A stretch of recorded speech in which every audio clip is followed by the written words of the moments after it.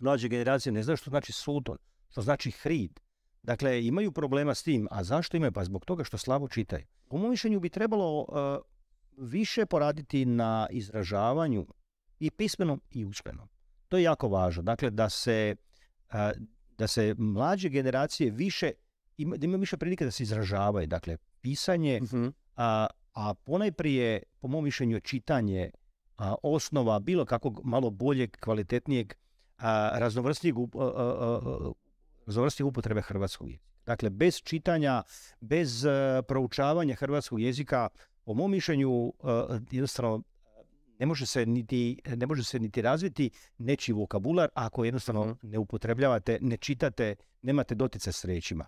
Ja bih a, rado volio savjetovati, iako kažem, znam koliko je program, nastavni program poprilično zgusnut, koliko je teško profesorima proći sve ono što oni moraju proći, ali a, u svakom slučaju čitanje, što više čitanje, što više prepričavanje, a, pisanje, isto tako i služenje riječnicima. Dakle, bilo bi dobro da se mlađe generacije nauče služiti riječnicima. Da riječi koje ne poznaju, da ih mogu pronaći negdje u riječnicima. Ne riječi stranih riječi.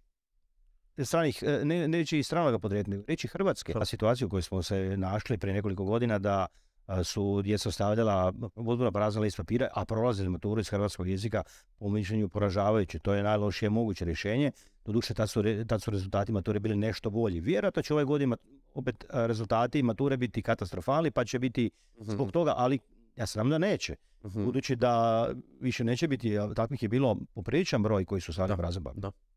Treba se poticati naravno djecu da ipak, da ipak se izraze, da ipak napišu barem nešto, pa ne moramo, ne- ako, ako ne shvaćaju temu, odnosno da ipak nešto napišu, da, da ipak se izraze na bilo koji način, meni puno je bolje nego baš da ostaje prazan papir.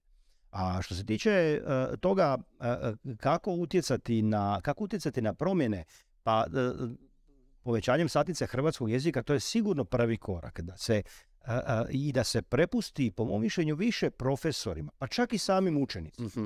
da oni budu ti koji će kreirati. Ja sam se bio zalagao zato kada je bila promjena, promijenjena lista lektirnih naslova. Mhm. Ja sam se bio zato, zalagao sam se zato da se načini jedna šira, poduža lista iz koje bi profesori pa i učenici mogli sami birati naslove koje će obrađivati. Dakle, više bih prepustio to profesorima nastavnicima, njihove, njihove kreativnostima. Jako mnogo a, kreativnih, fantastičnih profesora hrvatskog jezika, ne samo hrvatskog jezika, naravno, ali govorimo o tome, koji su sposobni iznijeti nastavu na jedan poseban, specifičan, drugačiji način, kreativniji, da hrvatski jezik a, se poučava i proučava ne isključivo samo, što kažete, preko pravopisa, gramatike i pravila jezičnih, nego da zapravo bude, da se pokaže u, njegovoj, u njegovom prirodnom staništu, prirodnom okružju, znači u književnosti, u tekstovima koje, s kojima će se danas sutra djeca, djeca okruživati, koje će, koji će biti, kojima će biti okruženi.